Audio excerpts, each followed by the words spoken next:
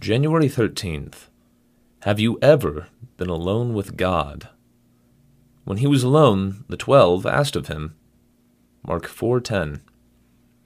When God gets us alone by affliction, heartbreak, or temptation, by disappointment, sickness, or by thwarted affection, by a broken friendship, or by a new friendship, when he gets us absolutely alone, and we are dumbfounded and cannot ask one question, then he begins to expound.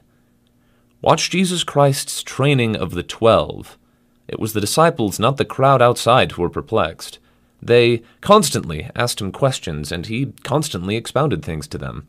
But they only understood after they had received the Holy Spirit. See John 14:26. If you are going on with God, the only thing that is clear to you, the only thing that God intends to be clear, is the way he deals with your own soul. Your brother's sorrows and perplexities are an absolute confusion to you. We imagine we understand where the other person is until God gives us a dose of the plague of our own hearts. There are whole tracts of stubbornness and ignorance to be revealed by the Holy Spirit in each one of us, and it can only be done when Jesus gets us alone.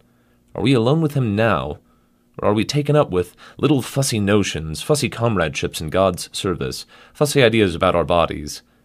God can expound nothing until we get through all the noisy questions of the head and are alone with Him.